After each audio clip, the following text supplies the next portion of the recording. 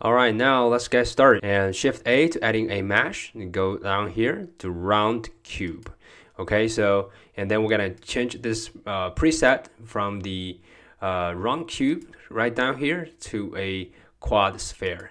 So if you don't have any of this at all, so you'll be able to enable that. I'm gonna show you real quick. Before I'm doing so, I'm just going to change the uh, subdivisions a little bit low to do four, and then we can start with this quad spheres. Okay, so if you don't have this, uh, you can just go to the edit and uh, preferences, and you're gonna search uh, extra objects. Okay, so make sure you enable that uh, add mesh. So basically, you can have the that options I was showing earlier.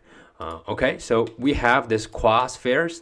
Basically, this is a UV sphere, but it's everything in quad. If I'm going to adding two level of subsurface, uh, control two. Now you can see this is a beautiful uh, UV sphere. Uh, this is something we want to start working with. Okay, and but right now we're not needed this kind of uh, subdivision, so we're just going to temporarily disable that. And before you come down here, you will see this the quad-sphere is actually having a six sides. So this is more like a cube, and uh, but it has like six different sides, and they come to as a UV sphere. If you are not really wanting to using an add-on, you still can creating similar shape like that through a uh, actually through a cube. Shift A to adding a cube, so I can just temporarily disable that. And then I can do two level of subdivision, Control 2, and you can see that this looks very similar to the to the round cube that we actually earlier using. However, uh, this is actually a cube. What you can do if you really wanted to using this, you can just apply this subdivision surface and go to the edit mode. And the, since you select everything else, and you can just using F3 to search to sphere. Uh, okay, and or you can use the Shift Alt S to using a shortcut. So select that, and you can see that my mouse cursor start of actually changing shapes, I can actually just drag to all the way to the to the right, continue dragging. You can see the top part is actually changing the shape to a round one. Factor, you can change that. You see, that's what happened. Then, so once you did that, click. Now this is a perfect sphere. So just like the one we earlier were using a add-on to creating that. So either way, you can do so. So this time I'm just going to continue use this and go to the edit mode. And next thing we're going to do here is because we have a, like six same sizes. If you look at it around, this is the one typical size that uh, we are using uh, to consistent do six sizes. So what we need to do now, we only need to do one side and then to just simply duplicate it and then six times and then kind of seal them together to become a uh, UV sphere again. So this is what we're gonna do. So we're gonna go to the top view and we're gonna go down here, top view, uh, look like this. And this is going to be our top side we want to continue to work with. And then another trick that you can do, just select this one vertex, hit Control plus key on the number pad. You can just start adding selections. So this is everything we want. And hit Control I key to invert it and hit X key to delete vertex. So this is the like a one sixth of the sphere that we want to use. Okay, so uh, and also it naturally already have the curve. Uh, so this is everything's working. You see, this is what we want to do. Next, we're going to actually adding a circle on the top of it, and then to adding the geometry for this particular mesh. So what we need to do here, go to edit mode, tab it out, shift A to adding a circle, and this time 32 is way too much because we're using relatively low geometry. So this time 32 is too high. Let's do 12 probably. Yeah, it's 12 I think should be fine to getting close to the, the existing mesh that you want to use. Hit S to shrink it down. And then we're gonna hit G to drag it up and to see uh, how big we're gonna, go. So hit S to getting around here and then go to the edit mode. So you'll see we have some vertices going on here. And then let's go to the uh, existing mesh. We're gonna uh, start working with the uh, knife project, so operation. So if we go to edit mode, you will see uh, the current curve or circle actually kind of getting cross to this shape. So once we apply the knife project, it's actually going to merge these two and also cutting through. This is more like a cut tool that a cutter that we want to cutting through the mesh. So now let me show you how to do the knife project. So select the, the mesh part that we want to be cutted and then go to the edit mode hitting tab key and then holding shift and uh, click the cutter okay now you see the cutter has been highlighted in like a red orange. And then we're gonna go here go to the mesh and come here set knife project. And making sure it's projecting through your view, uh, viewport. So you're looking from this angle so this is to project based on your viewport. So this is how you're going to work like. So mesh knife project then it's done. So once you see that it's actually project through this way it's actually cutting the mesh uh, through that angle. Okay, so now we're gonna go to the edit mode, tap it out, and to hide this cutter. So basically we can start working with this uh, mesh now. Because we are not uh, beautifully fix our topology yet, we have some ngons, so we needed to uh, to do our work in order to make things everything's working. So let's go to the vertice selection mode. Let's take a look at it, stuff we, we can we can actually uh, getting things correct. Uh, as you can see here, this is the one that is being created after the project. So easy way to maintain the shape of this circle, which is the one that we want to maintain. So we can just select the one that is just double G to slide to the uh, point on the circle. So in order to maintain that shape. So I believe this is the, I believe, uh, let me see. Let's see the circle, which one is actually being the project one. So this one is good. Uh, I think probably this is the one that is on the circle. So we want to maintain that one. So just double G to slide over here, come to the top view, and certainly this is the this is the one that being created. So I'm going to select this one, double G to slide over here. Okay, so same thing here. So I'm gonna select this, double G, come back, and I think this is all good. And because we only need to do one side of it, so I can go to the X-ray mode, Alt Z, select that, uh, hit the delete and then I'm going to adding a mirror modifier and then drag the thing up and do the clipping then I'm gonna hit A key to select everything hit M key to dissolve or to merge uh, the duplicated vertices. So you said remove four vertices? So we're all good with that. And then I'm going to uh, just think about it. This is an, an ngon so what we can do here we're probably just going to uh, do a cut to getting through over here.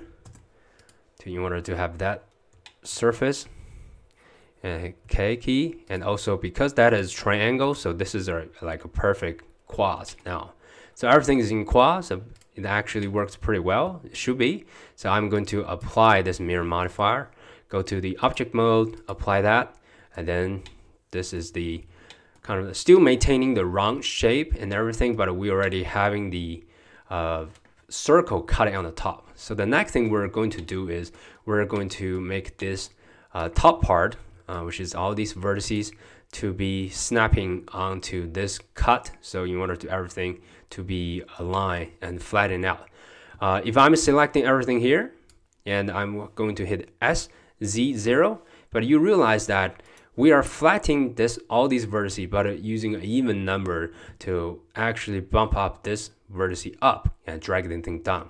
So we don't want to do that. So we certainly want to just only having all these top part to snapping align with all these vertices. So how do you do that? So that's the our best of friends uh, snapping tool. So we're gonna turn on the snap tool and we're gonna come here to the edge. So making sure we select that. So we can just select all that, hit S and Z is zero, and that's being selected, hit enter, and hit G and Z to just come down here. Okay, So although it's not really working now by now, but if you're holding shift key while you're enable the snapping tool, you can see that it's actually, once it's close to the edges, it's gonna snap to this edge, the surface. Uh, everything's been snapped here, so which is good. So we can disable the snapping. And now we'll come back to the top view, go to edit mode. So this is from top view, it doesn't look change a whole lot. However, from the side view, it's already beautifully, you know, snapping to the one side. And if you're really uh, being precise, and this is a tiny bit, so we can just just hit S key, Z and zero to kind of making everything perfect. I, I know it might move up tiny bit, but I think for the purpose we're trying to do, it works beautifully. It's already uh, pretty nice. Okay, now, so what we need to do here, we're going to do six of them and to actually creating the shape back. Okay, so the first one we can do a couple of different ways because only six sides, I can just keep duplicating this thing and hit D and hit R key to kind of rotate it and then doing one by one. That can you can tell, definitely do that or you can using array modifier to do that as well. So let me show you how to do that with array modifier. Uh, Shift A, I'm going to adding a empty. Okay, just empty. and then I'm going to select this object and do. Uh, I know the origin is in the 3D cursor, which is uh, overlap with the existing empty mesh we just added. And then what we need to do here, sometimes you just need to right click, making sure you set origin to 3D cursor, which is exactly where this empty was located. Sometimes you do need to do, do, but for this case, it's already there, but I just want to show you the process. Okay, once you have these two, you're going to adding a mirror array modifier, adding that. So basically we're going to drag the thing up and we're going to have four of these because we want to do like four sides on this side. Uh, we are going to change the relative offset and to make it an object offset and then using the uh, sample tool to kind of select that empty. Then next we're going to check the merge and check the first and last and then select empty and hit R key to rotate it. While you're holding control key, just kind of rotate that. Then you will see the rotation degrees on the 90 degrees on the left hand corner, then click okay? Then which means we're already adding like all that. So now I'm just simply select that to do the shade flat to make everything looks much simpler easier to to be seen. So this is something that we already have it okay?